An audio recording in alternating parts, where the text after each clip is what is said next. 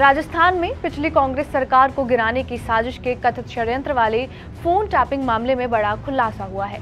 Phone tapping मामले में कानूनी कार्रवाई में फंसे पूर्व मुख्यमंत्री अशोक गहलोत के ओएसडी लोकेश शर्मा ने बड़ा खुलासा किया है। शर्मा ने कहकर हंगामा मचा दिया कि कॉल रिकॉर्डिंग वाली पेन ड्राइव खुद मुख्यमंत्री अशोक गहलोत ने उन्हें दी थी।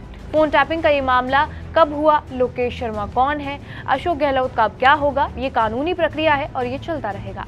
भारत में फ़ोन टैपिंग की ये पहली कोई घटना नहीं है। प्रधानमंत्री नेहरू के जमाने से फ़ोन टैपिंग के आरोप लगते आ रहे हैं। साल उन्नीस में सेना प्रमुख जनरल के एस थिमाया ने अपने आर्मी ऑफ़िस के फ़ोन टैप होने का आरोप लगाया था। उन्नीस में पंडित नेहरू की सरकार के ही एक मंत्री टीटी कृष्णामाचारी ने फ़ोन टैप होने का भी आरोप लगाया था। इसके बाद उन्नीस सौ अट्ठासी में कर्नाटक के सीएम रामकृष्ण हेगड़े की सरकार पर फ़ोन टैपिंग का आरोप लगा और उन्हें कुर्सी तक छोड़नी पड़ी। उन्नीस सौ इक्यानवे में चंद्रशेखर को फ़ोन टैपिंग के कारण ही प्रधानमंत्री पद से हाथ धोना पड़ा था। मुलायम सिंह यादव, शरद पवार, नीतीश कुमार। न जाने कितने नेताओं ने समय समय पर फ़ोन टैपिंग के आरोप लगाए हैं। साल 2021 में पेगासस का जिन भारत में जासूसी को लेकर भूचाल ला दिया था। एक रिपोर्ट में खुलासा किया गया था कि भारत सरकार ने इजरायली स्पाईवेयर पेगसिस के ज़रिए विपक्षी नेताओं की जासूसी कराई है और इसमें मौजूदा कई नेताओं के नाम है। फ़ोन टैपिंग और जासूसी में अंतर होता है। अगर आपके फ़ोन की जासूसी हो रही है तो आपका पूरा डेटा चुराया जा रहा है, जो आपके फ़ोन में मौजूद है। फ़ोन टैपिंग का सीधा मतलब ये है कि दो शख्स के बीच की बात कोई तीसरा सुन रहा है। फ़ोन टैपिंग को वायर टैपिंग या लाइन बगिंग भी कहा जाता है। अगर कोई तीसरा व्यक्ति बिना इजाज़त के आपकी बातचीत को सुनता है तो ये फ़ोन टैपिंग है। अब सवाल ये आता है कि क्या भारत में फ़ोन टैपिंग करने की इजाज़त है? फ़ोन टैपिंग को लेकर देश में क्या कानून है, आपको ये भी बता देते हैं। भारत में द इंडियन टेलीग्राफ एक्ट अठारह सौ पचासी के तहत फ़ोन टैपिंग की जाती है।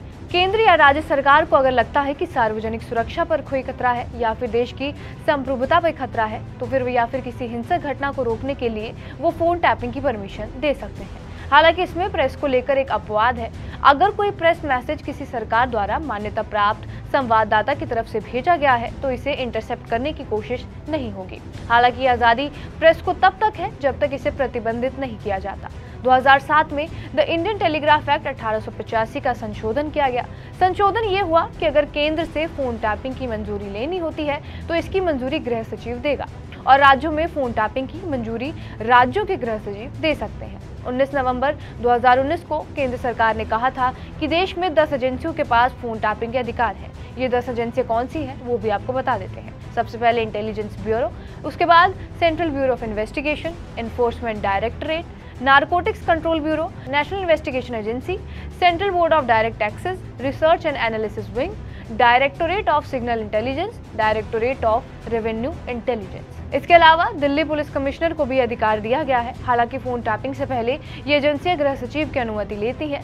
सीबीआई और वित्त मंत्रालय को बिना गृह मंत्रालय की इजाज़त के भी बहत्तर घंटे तक फ़ोन टैप करने का अधिकार है। बता दें, देश में फ़ोन पर बातचीत को निजता के आधार से जोड़ा जाता है।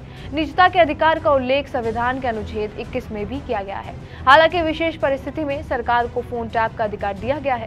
भारत में अक्सर फ़ोन टैपिंग को लेकर सवाल उठता रहा है। दुनिया के बाकी देशों में भी सियासी नफा नुकसान के लिए इसका जमकर इस्तेमाल हुआ है। साल उन्नीस सौ बयासी में आयरस टाइम्स के रिपोर्टर ने देश के पूर्व कानून मंत्री पर फ़ोन टैपिंग का आरोप लगाया था। ये मामला भी काफ़ी चर्चित हुआ था। बहरहाल, आपका इस वीडियो पर क्या कुछ कहना है, हमें कमेंट बॉक्स में ज़रूर बताएँ। बाकी देश और दुनिया की तमाम बड़ी खबरों के लिए बने रहे हमारे साथ टीवी नाइन डिजिटल पर।